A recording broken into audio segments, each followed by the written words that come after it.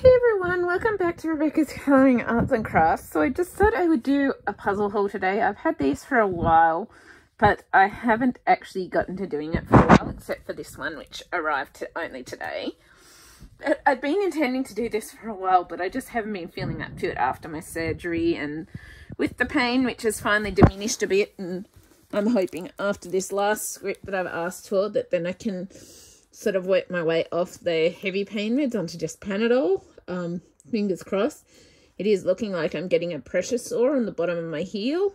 Um, according to my physio and the home help people that I have. Um, so yeah, I'm gonna have to wait and find out what my surgeon wants me to do about that. But yeah, um, so I just thought I would bring on bring you back with another puzzle haul today. So today I've got some Ravensburger, some Clementoni, and a Buffalo Games puzzle. So, um, yeah, I just thought I would do this finally. Like, I've been really wanting to do it for days, but just haven't been feeling well enough. And I'm still not feeling great today and just want to go back to sleep. But I thought, screw it, I'm just going to get it done because I really want to. And I love these puzzles and I love sharing them with you and I can't wait. So, the first thing that I've actually, first one that I'm actually going to show you is this Buffalo Games puzzle, a 2000 piece from their 2000 piece collection called Tiger Lagoon. And I'm so excited for this one. I really, really love the jungle features of this one and the tigers. And yeah, I love everything about it, including the colours. I love that we got these waterfall features and like you can't exactly tell exactly what it is in the background, but some sort of stone or Mayan feature and tigers. I'm not sure what this is, but you got your tiger cubs, you got your parrots and stuff, and your jungle creatures, your monkeys, rainbow lorikeets. I know those ones because they're Austra- in Australia. You've got your like orchids and your hummingbird type things, I guess, and your butterflies and just yeah, I really really love everything about this. Sorry, my knees in the way a bit. I'll try moving it over a little. But yeah, I just loved everything about this one with the colours and the the flowers and the tigers and the birds and yeah i obviously just had to grab it. So yeah i'm so excited for this and i'm so excited as i start to get better. Like i'm hoping once i get off the heavy pain meds i'll be able to do more of my puzzle stuff again and then slowly work towards other things. Like um my physio was telling me today that um she's aiming for about three months to try and have me off the crutches by. So then hopefully after that I can get my hand and wrist better. So yeah, I guess we'll see. Hopefully that'll happen because it would be so nice to be able to work on getting this better and improved and yeah, um, I guess we'll see. Hopefully that'll happen.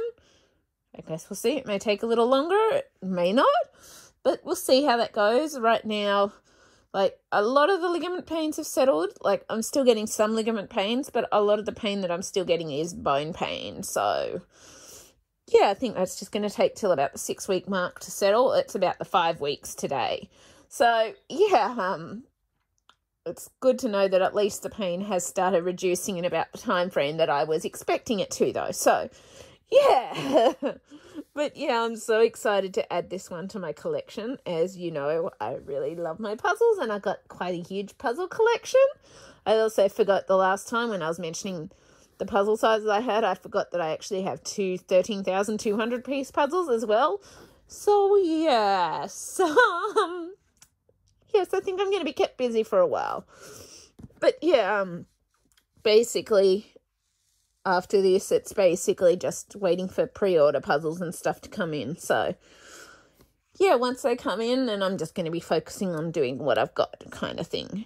And hopefully, I'll be able to get back to that sooner than later, but it's going to be slow going, so I'm just going to have to take it one day at a time and see how things go as to how soon I'm able to get back to certain things or whatever. Like, the art and colouring is going to take a while because I'm going to have to get this improved and this a lot better and all of that. The puzzles probably be sooner because there's something that I can kind of do now, even with the sore hand and wrist. So I'll probably be doing that. But first, I've got to get off the heavy pain meds to be able to try and do more because that's been really knocking me around.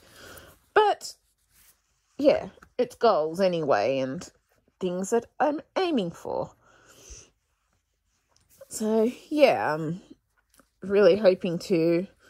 I've asked for a script which has been sent, and I'm planning on reducing it from that script to just the Panadol. So, yeah, I'm hoping to go off the endone and anti nausea stuff and that to just the Panadol and um, antihistamines is what I'm hoping to do. Fingers crossed.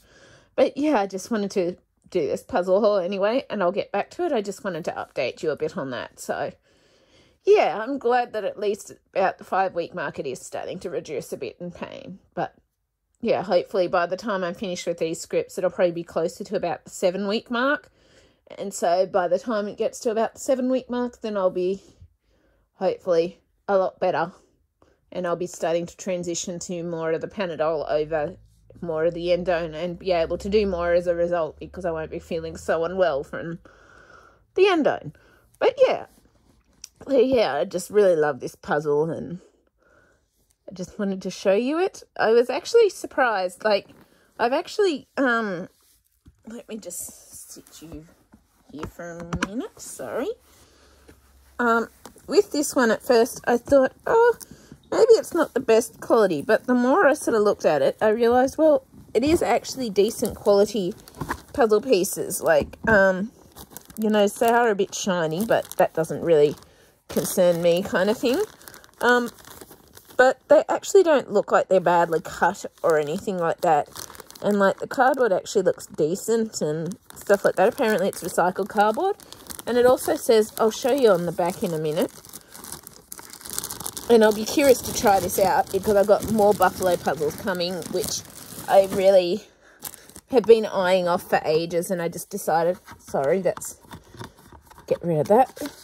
I just decided after that, that um, I would just take the chance and get the rest of the puzzles because the more I've looked at this puzzle over today, the more I've actually liked the features and aspects of it. So this one also comes with a poster a few other 2000 piece ones. I actually really like this one, but I couldn't see it, the Picket Celebration. It's actually really cool with the colours and stuff. We've got Viva Las Vegas Castle Dream, which I've kind of got that in a version from Clementoni, so I'm not going to get that one. But yeah, I love that it comes with a poster. And also, um, on the back, it says it's got the perfect snap. So I'm guessing they do something like Ravensburger with the snap look features and stuff like that. So I'm actually very curious to try this one out. And I just decided, because it was the last ones of the puzzles that I've been eyeing off for ages, I just decided to basically get them because it was like, well, I don't think that it doesn't look bad quality by any means. It looks actually quite decent. So I sort of decided to just take the chance and get them because here in Australia, Buffalo Puzzles isn't necessarily the readily available or the cheapest because obviously it's Australia and some of the American puzzles are actually cost more here. But yeah, so I'm actually very happy with this and I'll be interested to do some comparison um, what I'm intending on doing when I start back on the puzzles again. What I want to do, and I'm just going to get this lid on, what I really want to do is um, get back to sort of when I get back to the puzzles, I want to try some diff try all the different brands and stuff and make notes on them so that I can do a comparison video for like cheaper puzzles, mid-range puzzles, and the more expensive puzzles. And I'm going to have to work out which are the mid-range, which are the more expensive, which are the cheaper range. But I think that's definitely doable. And I, I look forward to doing it. And um, trying that and checking that out and doing that comparison. With Buffalo Puzzles, I haven't quite worked out because the price of this one, not counting shipping, was about $50 for 2,000 piece, whereas a Ravensburger 2,000 piece is about $75, $85 here in Australia. So I'm not quite sure whether Buffalo is more of a mid-range puzzle compared to Ravensburger. So I'm, I'm just going to have to work those things out when the time comes kind of thing because I'm probably going to do try and do comparisons of similar price puzzles in similar priced areas or ranges kind of thing. And do some comparisons and just see how they compare to each other, if some of the sort of the same quality sort of thing, and all of that that sort of thing, just because it's something that I'm interested to do. Obviously, I'm not going to have every single type of puzzle brand out there. I'm just going to be using what's sort of available to me here in Australia that I have gotten so far. That's not necessarily, I haven't got everything that's available to me here in Australia, but I have, I'll do, be doing, basically doing what I've got to try with that. So, yeah, it'll be good. And as you know, I enjoy, I've kind of got a preference for Raven's Ravensburger, but I will enjoy and do any puzzle that I love the image of. Even if it's a cheap brand, if I love the image, I'm still going to enjoy it. So I will get any puzzle brand if it's an image I loved and that I want to try. So yeah, I'm really looking forward to this one. So I was up, here. And then these ones actually haven't had the plastic wrap even taken off them yet, which says how I wasn't feeling well because, as you all know, I usually have the plastic wrap off by now. um, usually have it off the same day that I get the puzzles. But this is a Clementoni Jurassic World Impossible puzzle, and this was two for $50. And this was actually gotten when I was doing a respite weekend um, shortly after my surgery. And this is one with all the with different Jurassic World dinosaurs repeated, so it's going to be quite a tricky one, I think. But I'm really looking forward to the challenge, and I really love the Clementoni quality. And as I said, it was a two for $50 deal at that point in time. And it's 69 by 50 centimeters. Jurassic World, obviously copyrighted by Universal Studios. But yeah, I just, I've been wanting this one for ages and eyeing it off for ages. And I finally decided, nope, it's time to get it. I really, really want it, and it's time to get it. And it's going to be a challenge, yes, but if I can do a color changing puzzle, I can do anything. So, yeah, color changing puzzle is probably the hardest I've ever done in my life. And it's like a lot of people have said they wouldn't even attempt it that I know. And it's like, I actually, even though I found parts frustrating, I really enjoyed it at the same time. So, yeah, I'm looking forward to this um, impossible puzzle. I don't know how impossible it'll be. It's obviously able to be done, but obviously it's a hard, meant to be a hard one. And yeah, I'm looking forward to it. Then the final Clementoni one that I've actually got here is um this I think it's like Mickey's Gala or something like that, but it's it's in a six thousand piece puzzle and it's also in a thousand piece puzzle. And I just got the thousand piece variant here. And I don't know all these characters, but I just, I love the image and I thought it was very cool. And I hope to learn more about these different characters when I get back to watching Disney Plus and get back to watching some of the Mickey shows and the Donald shows and all of that. It's going to be awesome to learn more about these characters. I know Alvin and Chip and Dale, is it? Either Chip and Dale or Uh, might be Chip and Dale. I think it is. The Chipmunks. I think it is, but Pluto, Mickey, Minnie. I think Mickey and Minnie's kids. You've got, um, I think they're Donald and Daisy's three kids, or Donald's three kids. I'm not sure which one is Donald and Daisy, but I'm guessing it's these ones. But I don't know all the characters, but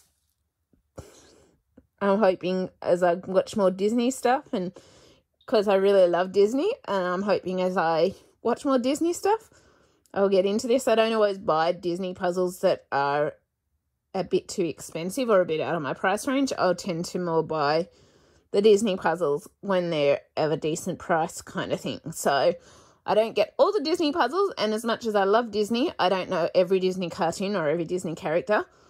But I'm hoping to learn more with time because I've never watched much of the the Mickey or Donald shows and stuff like that. So I'm looking forward to getting to see more of those in the future as we go and find out more of these characters. It's going to be awesome because I really do love Disney.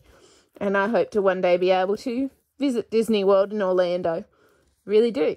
But yeah, so I'm really excited to have this and $25 for this was really good price, saving of $5. So, yeah, because this is the second one I got in the two for 50 And this is Clementoni as well. And then the last ones that I've got here, I've actually got three that I got on clearance, one that I didn't get on clearance. And these were actually from my local Australian Target, which typically has some puzzles but doesn't have Ravensburger puzzles available in it. So I was surprised to find these there, but it's awesome too. And so these are on clearance for 20 three of these were on clearance for $20 and they're ones that I like but I didn't want to pay full price for. And so when I saw them for $20, I just decided to take the chance and get them because they are ones that I've been looking at getting, but I just decided to wait and see if I could find them on sale or special somewhere and I happened to find them here, so I've got them now. And I'm very happy to add these to my collection. So the first one I've got here is from the Puzzle Highlights Beautiful Skylines series. And this is, um, I think it's just Paris. Yep, Paris. And yeah, just, I guess it's very similar colours, so it's probably going to be a challenge to do.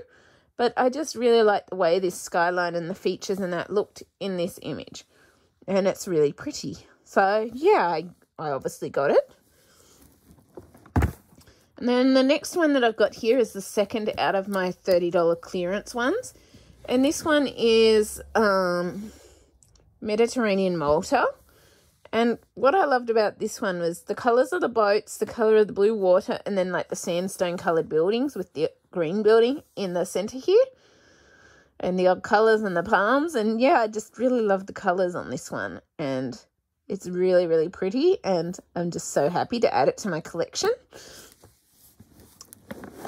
And the final one that I've actually got here is um, from Beautiful Skylines 2, and this is Cape Town. I'm pretty certain from what my friend said, Cape Town is in South Africa. And I'm assuming this is just like a overview of the skyline and the city of Cape Town. And it's actually interesting because I don't know anything about Cape Town, but it seems like they've got like a sports ground, and sports areas around here, and then like the harbours and the houses and I just like the watercolors as well. Like you can see some differences in the watercolors and yeah, I just really, really like this one and I've been looking at it and thinking about getting it at times, but I've never actually gotten it just because I sort of wasn't really sure that it was, it wasn't a top one on my list. Well, these three weren't top ones on my list, but they were ones that I knew that I would get if I came across them on clearance, and I came across them on clearance. So, and that's a saving of about $35 usually, or about $9 with the price at Target. So, yeah, I just had to take the chance and get them. and the last one that I've got here is this Ravensburger puzzle by Hanna Karlzon. And this is to do with the colouring stuff um, as well. And Hanna Karlzon is a colouring book artist who also has created some puzzles with Ravensburger. This is the only one I've got of hers from Ravensburger, um, just because I found it at the at my Target and I really loved it when I saw it in person. I've kind of been holding off getting these ones because I wasn't sure, even though I've got some of her colouring books and stuff. I've just been holding off, and when I saw it at Target and it was really nice and it was about $6 cheaper than usual, I decided to jump in and get it. So, yeah, um, I'm very happy to have it, and I love the colours, and yeah, it's just really, really gorgeous and beautiful. So, yeah, um, I'm very, very happy to have these puzzles. If you've enjoyed this bit of a puzzle haul, please leave a like, subscribe, comment. I always love hearing from you. I really hope you enjoyed this and um, get to have fun. I hope to open these soon when I feel okay, but I'm probably just going to go to bed now rather than trying to open them. And yeah, um, I really hope you've enjoyed this puzzle haul anyway. And if you have, please leave a like, subscribe, comment. And there goes my brain not functioning properly with the meds in it, because I just said that again. And yeah, I will see you later and respond as soon as I possibly can. Bye.